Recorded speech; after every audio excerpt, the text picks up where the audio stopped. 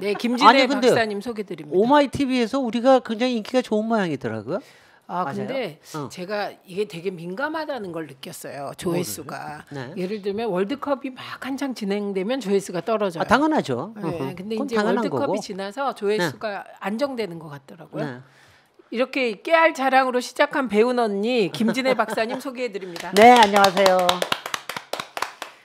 우리 팩트 폭격기 속 시원한 사이다 100만 개 노영희 변호사 나오셨습니다. 안녕하세요. 그러고도 더 세게 할 수 있는 여력이 있는. 요새 끊임없이 더 네. 세게 해달라는 유혹에 시달리신다고 합니다. 네, 그리고 저는 최민희입니다. 네. 아니, 아니 근데. 아니 근데 우리 우리도 좀 small talk 좀 하고 아, 가자고요. 하려고요. 아니 김진애 박사님은 또 영부인을 또 뭐 영부인에 대해서 뭐 한마디. 하셔갖고 또 포털에 떴던데요. 뭐, 아, 포털에 뜬 거는 뭐 괜히, 아이, 포- 괜히 그러는 포털에는 거고. 아무나 뜹니까? 아니 아니 뭐 그, 괜히 그러는 거고.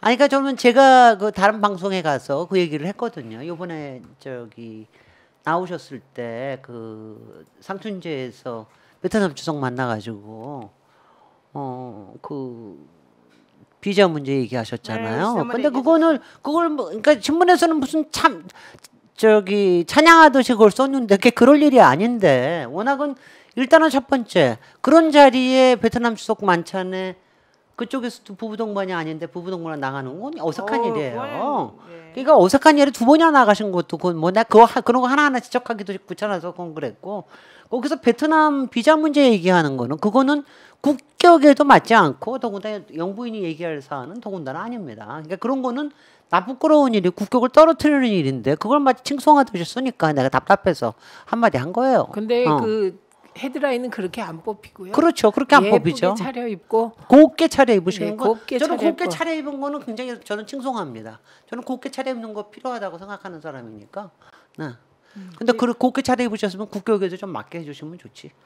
영화 관람도 통치행이라고 하루하루가 부끄럽다 이렇게 음. 또 나왔네요. 아 그거는 지- 그거는 일주일 전에 한 얘기. 음. 아니 그거는 두 부부를 얘기를 한 게 아니라 영화 관람 두 분이 하시는 건 아름답고 좋은 일이다. 근데 대통령실이 그거를 통치행이라고 하는 게 대통령실이 문제다. 그렇죠. 대통령 그, 그 얘기를 한 거예요. 그러니까 제가 틀린 말 한 거 하나라도 아니 너무 있으니까. 너무 말을 잘하셔서 네. 예, 안실을 수가 없어서 언론이 보도한 겁니다. 김건희 여사 왜 사진 뿌리나? 네. 아 그것도 아 그것도 왜냐하면 제가 마치 그런 것만 모으니까 제가 맨날 김건희 여사 얘기만 한 것 같은데 제가 참고 참고서 요번에도 안 썼습니다. 요번에도 그 부산에 가서 자립 자립 청년들 찾아간 거 제가 그게 뉴스픽인가 뉴스원인가 첫 기사를 보는데 사진이 무려 몇 장이게요? 몇 장이요? 18장이.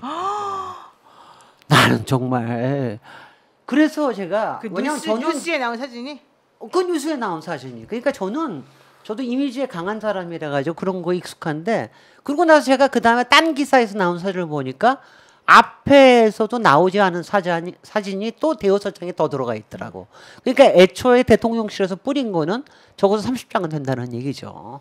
그러니까 난 저는 그렇게 그런 거를 대통령실에서 그런 식으로 뿌리는 거에 대해서도 그것도 국격을 떨어뜨리는 일이라고 생각을 해서 왜 이렇게 사진을 뿌려대시나 그 얘기를 합니다. 그게 일단 기자 동행한 일정이 아니고 네. 비공개 일정을 하고 어, 그 전속 기자가 찍어서 이제 언론에 나중에 풀하는 그런 형식이잖아요.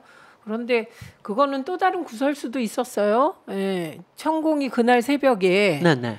뭐 예를 들면 그런 그런 무위탁 그 내지는 예를 들면 아, 그런 무위탁이 아니라 예, 자립 아동 청년. 아동 위탁 시설 재활 어, 재활 청년들 네. 어, 어, 살펴 보살피라는 요지에 방송을 했다고 났습니다. 예, 예, 예. 그래서 그 관련된 기사가 잠깐 떴었어요. 그런데 그게 그- 스펙스 아니었나요? 스페크에서도 네. 그걸 하는데 바로 그날 김건희 여사가 바로 가셨죠? 아, 예, 제가 방송했고요. 음. 그 새벽 5시에 그 천공이 아니 새벽 5시에 무슨 강의를 올린 사람 내 생전 처음 봤는데 음. 어쨌든 새벽 5시에 그 내용을 딱 올렸는데 그 말 그대로 네. 진짜 여사가 12시 40분에 딱 그 사람이 말하는 바로 그 사람한테 갔더라고요. 그 우리가 지난번에 천공과 무관하다. 어? 어, 그거를 대통령께서 공개적으로 확인을 해 주셔야 된다 이런 얘기 한 적 있습니다. 그런데 새벽에 그 비슷한 얘기가 올라오고 어, 여사가 똑같은 행보를 하니까 이건 뭔가 이런 생각하는 건 지극히 당연한. 아니 그건 저는- 당연한 거 아니에요 누구라도 네네. 아 저는 이렇게 생각이 들었어요. 이거는 천공이 대통령실을 이용하는 거다. 그렇지 그러니까 대통령실 안에 그 이른바 끈앞풀이 있다. 그래서 거기서 그날 김건희 여사가 가는 거를 귀뜸을 해주니까 그제야 올린 거다라고 생각을 했어요. 저는 음, 음, 그렇게 볼 수도 있죠. 천공을 따라서 뭐 이렇게 했다라고 그렇게 보- 보는 것보다 오히려 근데 왜 그걸 내버려 두나? 그렇지 그거를 내버려 두지 않고 그리고 만약 거기에 끈앞풀이 있다라 그러면 그게 누군지 족쳐야지. 아까 예전에 장재원 뭐 권성동 뭐 이런 라인들이 사람들을 대통령실에 보내가지고 네. 대통령실 일정이 막 바깥으로 먼저 공개가 되고 이런 것들 때문에 대통령이 화가 많이 났다. 네. 이러면서 한바탕 뒤집어 엎고 뭐 사람들 내보내고 막 그랬었잖아요. 그- 그거하고 지금하고 비교를 해보면 오히려 천공에 대한 거는 그 사람들보다 훨씬 더 많은 정보를 천공이 미리 입수해가지고 마치 자기가 대통령 부부를 조종하는 자기가. 조, 어, 조종하는 것 사람인 것처럼 사람들한테 알리려고 일부러 본인의 영향력이 크다는 걸 알리려고 일부러 탁 바로 그 행동하기 직전에 뭔가 탁탁 말을 하고 이런 거 갖다 앞에다 딱 붙여줘요. 사람들 보고 인식하라고. 그러면은 그게 바로 자기 앞 그러니까 대통령실에서 무슨 일 할 것인지를 먼저 일단 셌다. 두 번째로는 뭐 세지 않았다 그러면 둘이서 짰다는 건데 공모했다는 건데 그건 말이 안 되는 거고 설마 대통령 부부가 그 공모라기보다 공모는 좋아요. 의논, 의논. 네, 의논 어. 사전 협의. 어, 사전 예. 내, 사전에 뭐 서로 잘 돼보자고 노- 의논하는. 근데 그런 건 거의 불가능할 거라고 내가 보고 현실적으로. 그게 아니라 그런다면 대통령 부부를 이용해서 자기 장사해 먹는 게 눈에 보이는데 음, 그거를 대통령실에서 가만 놔둔다. 예전에 건진법사가 각 대기업 돌아다니면서 나한테 잘 보이면 내가 니네 세무조사 무마해주겠다라고 했을 때랑 똑같아요. 그때도요. 문, 그 문제가 터졌을 때 어땠어요?